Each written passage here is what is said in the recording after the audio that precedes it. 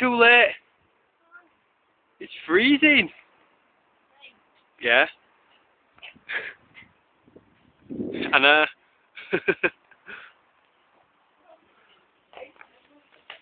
Bunny again.